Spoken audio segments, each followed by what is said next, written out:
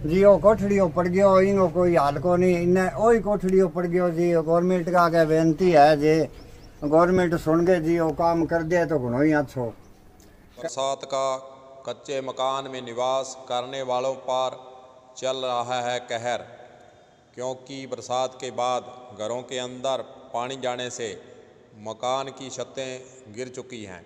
इसी प्रकार की घटना गाँव बाखरावाड़ी संगरिया तहसील में हो चुकी है। बरसात के दिनों में लोगों का घरों के अंदर रहना भी मुश्किल हो चुका है, क्योंकि उनके मकानों की छतें गिर चुकी हैं। लोगों ने सरकार से गुहार लगाई है कि सर्वे कर, हमारे को कच्चे मकान गिरने का मुआवजा सरकार देवे। किसान नेता विक्रम सिंह कलहरी ने बताया कि पिछले कई सालों से बरसात के आने की वजह से बहुत से लोगों के मकान गिर जाते हैं, लेकिन सरकार के स्तर से गिरे हुए मकानों के स्थान पर पक्के मकान देने के लिए कोई भी कदम सरकार के स्तर से नहीं उठाया जा रहा है।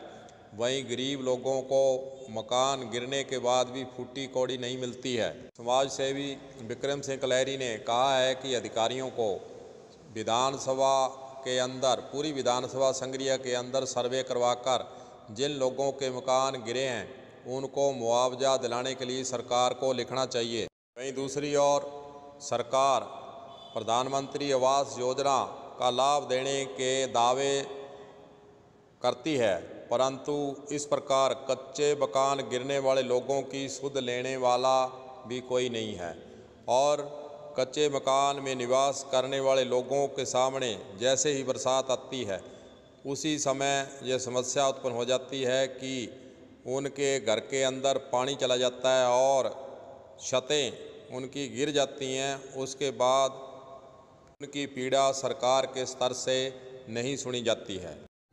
देवीलाल स्नोप, गोविंद राम, जाति मेघवाल जी वो कोठड़ी पड़ गयो इनको कोई हाल को नहीं इन्हें वही कोठड़ी पड़ गयो जी गवर्नमेंट का आगे बेनती है, जी गवर्नमेंट सुन के जी वो काम कर दे तो घणो ही अच्छो कन्ने जी दवानी को नहीं इंगो बालो टूट गयो, एक वो दूसरो और टूट गयो, जी अब के करा? अब कोई हाल को नहीं इन्हें वो कोठड़ी ही पड़ गयो जी इन्हें एक वो कोठो है वो ही पड़ियो पड़ियो इंगो ही बालो टूट गयो एक और टूट गयो खाना। अब करा तो जी के करा अब? देखने वाली बात होगी कि क्या सरकार जहाँ ग्राम पंचायत गिरे हुए मकानों के लोगों को कितनी जल्दी सर्वे कर उनको सरकार की तरफ़ से सहायता देती है। और कच्चे मकान जिन लोगों के गिर चुके हैं, उनके निवास के लिए सरकार के स्तर से क्या रहने के प्रबंध किए जाते हैं? कलम न्यूज़ के लिए गुरुदेव सिंह सैनी की रिपोर्ट।